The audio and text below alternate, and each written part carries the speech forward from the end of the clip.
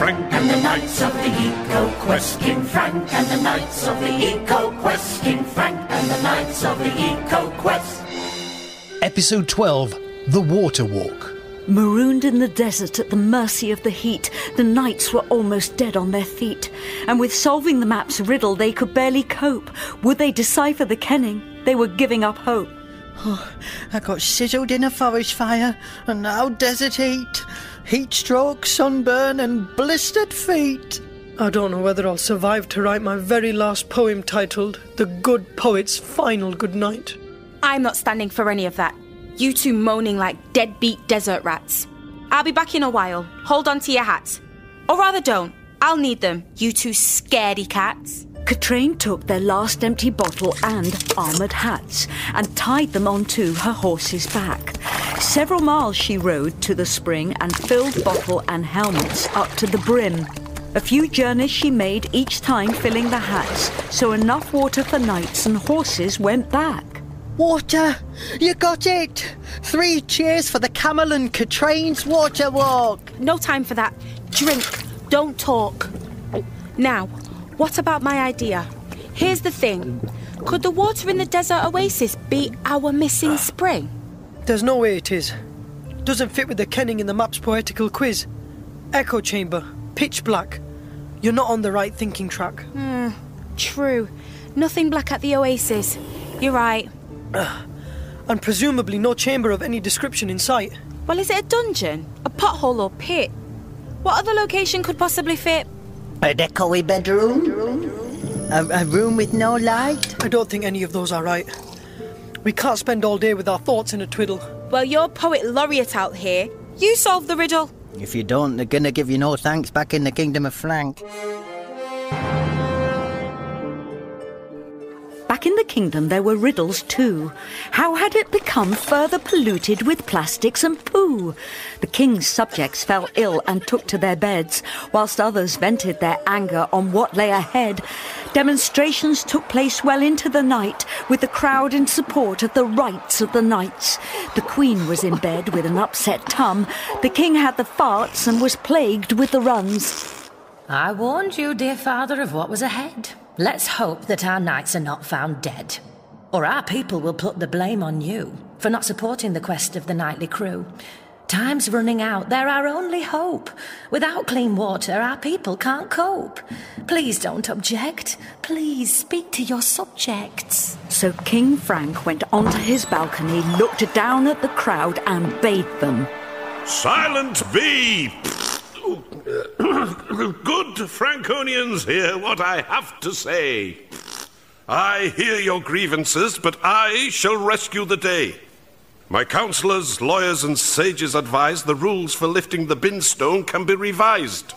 So I grant leniency and absolve the knights who went off on their mission without my royally stamped seal of permission.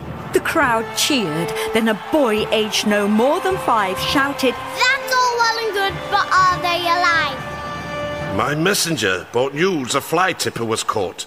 The fly tipper told of a duel he had fought.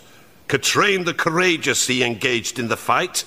They are still alive, those valiant knights. I intend to send out a search party with new supplies to support those three. Good father. With all you said, I agree, but this is idle talk of a search party. By the time they reach them, all will be lost here. Too little, too late is what I fear. Time has been wasted and we're on the brink. We need fresh, clean water within two days, I think. We must hope that those three are not just sitting around, that they're making good speed back here over ground. The worst that I fear is that poetry chap isn't lounging around with his pen and his pad. We're in their hands, father, and on this we must bank that they're on the cusp of finding the fountain of Frank. Back in the desert at the Camel Shack, the knights said their goodbyes and were back on track. On their way, they pondered the riddle me ree of the answer to the kenning, but they couldn't agree.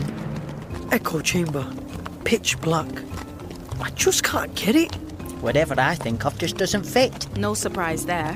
But I think I've the answer, I swear. The kenning is echo chamber, pitch black. So how about a tunnel or a chimney stack? I'd say, to be fair, not tunnel or chimney. You won't find a spring in there. So, how about it's a long dark corridor that leads to a spooky chamber in a haunted house with like vampire bats and those other creepy things, you know? No, we don't know. So to be clear, this is about a location in the kingdom, and if you use some nous, you'll work out that Frankdom doesn't have vampires or a haunted house. But wait, you did mention bats. And where might you find a bat habitat? Get my brainwave? They hang out in caves. Echo chamber, pitch black. A cave it must be! We've solved the kenning, don't you agree? Get the map out and let's see if it fits. Go on, try it. Echo chamber, pitch black. The answer is. A cave! The map's glowing, it's right! The kingdom's water supply is saved! Look, it's now revealing information about the Fountain of Frank's hidden location. And who'd have thought we'd find the location once and for all, unbelievably close to our castle walls? It was there all the time, buried beneath all our filth and grime. We must make speed and return with this news, discover the fountain and collect our dues. More like lose our heads by the executioner's hand for setting off on a quest without the king's command. Has anyone ever told you to focus on positive thoughts? My teacher once did in a school report. Here is a positive. Look at me, Alf. You've made it this far. Have faith in yourself. The journey home was boring and long, but they kept themselves cheerful by singing songs. Then Alf felt his phone give a vibrate and jitter and got reception to get onto Twitter. Oh, I'm just sending a tweet and a text to my mum to tell her I'm safe and the quest is all done. Send one to the princess whilst you're online. Say, see you on Sunday, we're making good time. With the map safely stored and with success on their side, they were fired up with zeal and ready to ride. They galloped in moonlight, in sun and in rain until mentally, physically, and questurally drained. Hmm. Let's find a spot to bed down for a while, for an hour or two. Then we've just a few miles. Let's air our armour and dust off our clothes. They're still filthy with sand. Yeah, gets right up my nose. Leofrick, hang all our clothes out on that oak tree. Alf, tie up the horses and leave feed for all three. As they rested their heads, they went out like a light, but footsteps approached the three sleeping knights. The snapping of bracken and twigs underfoot didn't wake one single knight up. It wasn't till dawn and a crow cawing din that the knights realised they'd all slept in. Not too long after their first yawn, Leofrick yelled, Our horses have gone! They're nowhere to be seen! What do you mean? They've bolted! Didn't you tie them up? I used my best knot, that squiggly one I learned in the cubs. Horse stealers, horse theft. And all our clothes. There's nothing left. We've been cleaned out. How did they get the shields and swords? Helmets and armour, all that we wore. Let's give thanks that at Princess Aqualine's behest, we made sure we brought gloves. Long pants and a vest. And that is all we have left. The knights stood in their gloves and their underwear and gave the whole scene a stupefied stare. Well, it could have been worse. How so? They didn't take my verse. I still have a pen and a pad. Perhaps they read it and thought it was so bad. What troubles me more about this mishap is after all we've achieved, they've got the map. In King Frank and the Knights of the Eco Quest by Martin Kiszko, you heard the voices of Toyah Willcox, Garcia Brown, Aqib Khan, Nathan Morris, Andrew Dunn, Andrina Carroll, Emily Spowage, Ian Billings, and Claire Wyatt. The music is by Martin Kiszko, and the sound design by John Scott. King Frank and the Knights of the Eco Quest is produced by Andy Cartwright as a soundscape production for fun kids, supported by the Audio Content Fund. King Frank and the Knights of the Eco Quest.